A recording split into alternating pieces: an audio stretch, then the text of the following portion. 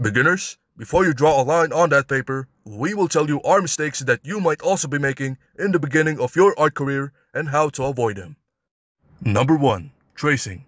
Most beginners are reportedly seen tracing their favorite images provided by various artists around the globe. While tracing is generally an unacceptable feat in the art community, some say that tracing is a justified act for beginners because they are trying to figure out where and how to start their career in their first few weeks. As public service announcement, aspiring artists are advised not to share their traced artwork and must be solely used for self-study. As an artist, I declare myself guilty of this habit as well.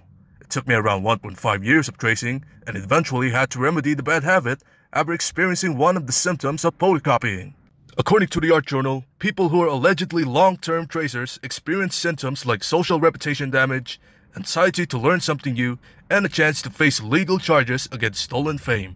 The Art Journal highly encourages every beginner to learn the fundamentals of drawing as soon as you begin your artistic journey. And that opens up the gate to the second report. Number 2. Not taking tutorials or art courses. Research shows that beginners who don't take art classes nor watch art tutorials result in postponed mastery. Studies show that frequent study, learning new lessons from art classes and tutorials builds self-confidence, knowledge, and creative freedom. There are hundreds of online videos and materials available for every artist like Skillshare, Gumroad, and personal coaching. According to the law of creativity, all artists are required to attend or watch fundamental art courses to reach the level of mastery easier. One voice reporter who is currently reporting this matter ironically pleaded guilty in court after police investigations found no evidence of artistic course materials in his safe house. Said reporter was given two years behind bars and was offered parole by the creative judge. Number 3. Trying too hard. In December 2017, the same voice reporter from the previous report allegedly neglected creative curfews imposed by the Department of Creativity. The mentioned voice reporter was charged with hefty fines as the reporter was fixing his anatomy and adding more icing to his old abhorrent drawings. After thorough investigations, the National Forensics Agency officially confirmed that the reporter was actually trying too hard to draw perfectly. In the end, the voice reporter was filled with regret. The law of creativity states that no form of magnum opus is perfect. In other terms, bad drawings are eventually good drawings when artists take their practices and studies regularly and seriously.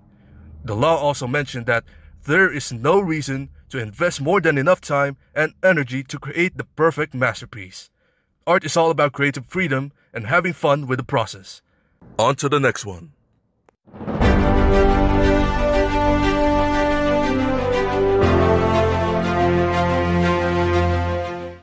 In tonight's broadcast, we will tune into Art Senpai, a certified longtime anime specialist who is joining us here live on YouTube Studios to voluntarily document his mistakes as a beginner.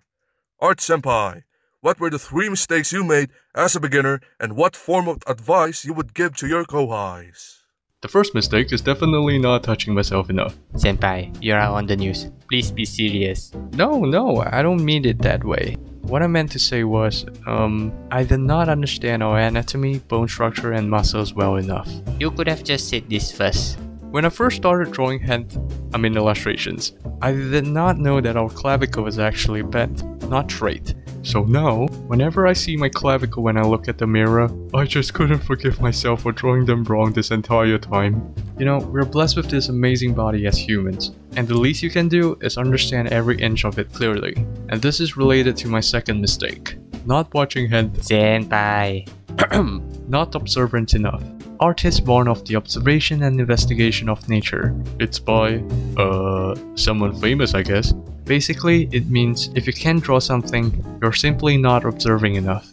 And how can you observe something that you can't draw? This leads to my third mistake, not finding reference when I draw. I was once a victim to this mistake.